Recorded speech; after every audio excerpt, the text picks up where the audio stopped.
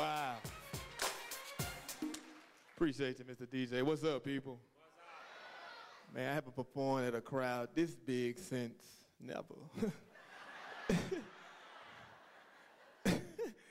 I was nervous before I came out here when I saw the people till I found out I wasn't gonna get paid. And I was like, oh, it don't matter.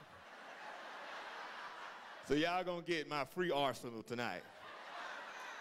All right? So if y'all really want to laugh, then I'll give you a business card so I can give y'all some paid for jokes.